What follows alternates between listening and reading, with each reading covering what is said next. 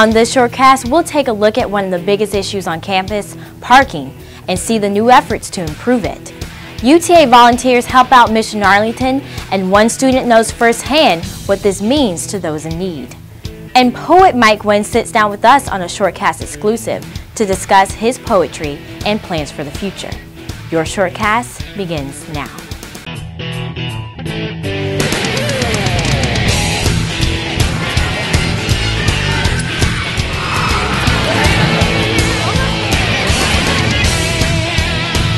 Thousands of new students on campus means additional cars and limited parking space. But police say they've got a solution for the problem. Row after row, space after space, nearly all parking spots are taken in the UTA parking lots. I'm about to go to class and I can't find a parking spot. The university is growing in enrollment and campus size.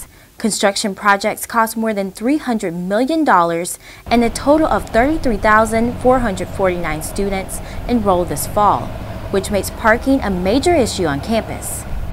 We know they have a lot of students, so why such small parking? I know they enrolled like way too many people. But some students say the solution is easy. You just have to wake up early and come early. If you don't, then all of this is going to be full and you're going to be parking all the way on the other side.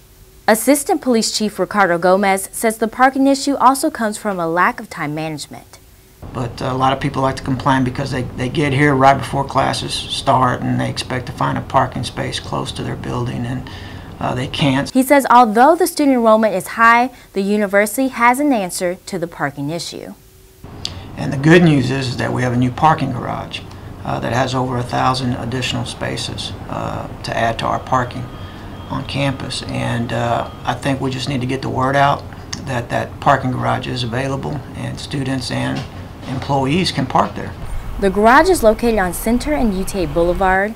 Two of the three sections are completed and parking is available for staff, students, faculty, Brazos and Arlington Hall residents with proper permits. Members of the First Baptist Church of Arlington also park in the garage. UTA volunteers had their first major event of the semester, Mavs on a Mission. On Saturday, 85 students showed up at Mission Arlington to help out. Mission Arlington serves more than 600,000 people a year. Students move boxes of food, water, furniture, and clean the medical clinic.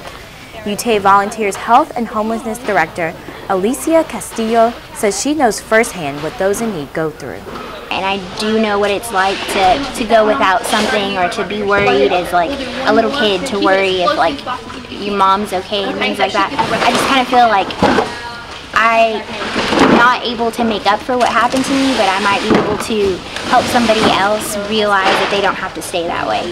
The group will have more events this semester. All students are welcome to volunteer.